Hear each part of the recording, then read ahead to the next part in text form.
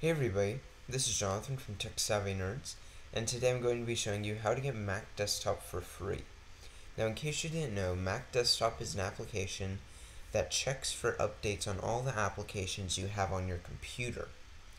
So, first things first, you need to download Mac Desktop, and that will be in the video description below.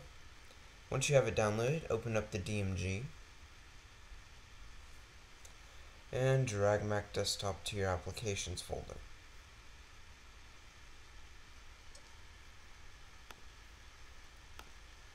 Go ahead and open up Mac Desktop.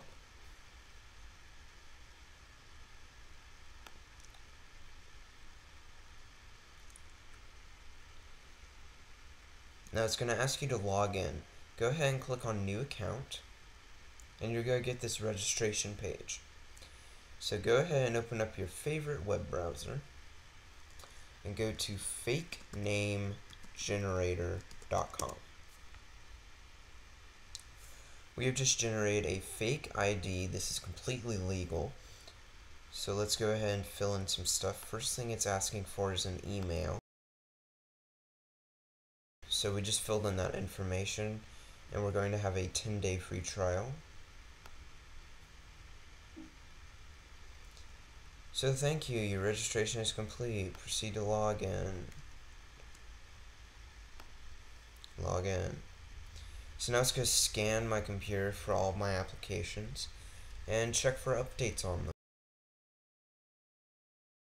So we can go ahead and just select outdated at the top and we can go ahead and update every single one of these applications.